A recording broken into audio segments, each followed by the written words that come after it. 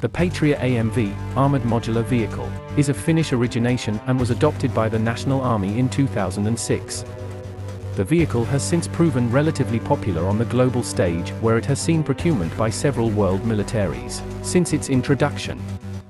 One of the major selling points of the Patria AMV wheeled system is its inherently modular design which allows the vehicle to be configured to directly suit customer requirements.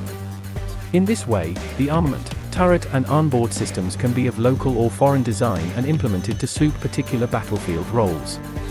As the chassis and powertrain remain largely same across all models, this proves a rather logistically friendly investment for my modern armies seeking to fall under budget yet provide a modern, battlefield component to its forces.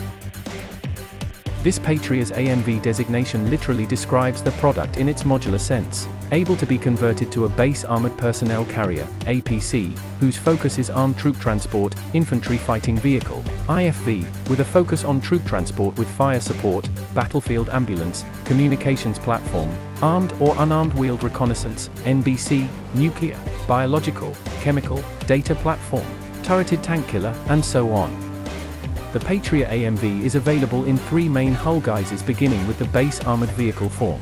A high roof line version providing more internal working space and a structurally reinforced, heavy, variant required for the stresses of mounting large caliber weapons and powered turrets. As the AMV is available through a plethora of configurations, this makes the vehicle's operational weight rather variable, ranging from as little as £35,000 in its lightest offering to the £60,000 form when heavily armed and armored.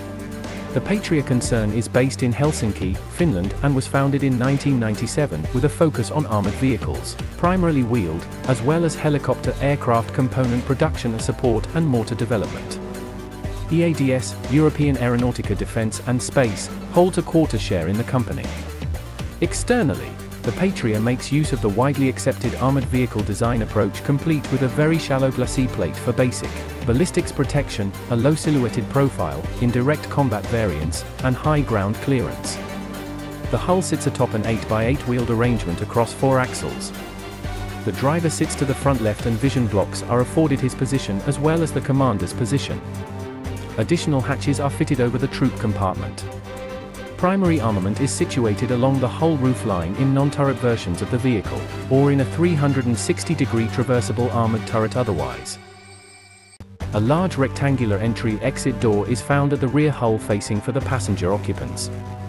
The engine is seated in a compartment to the front right of the hull, common to many modern armored vehicles.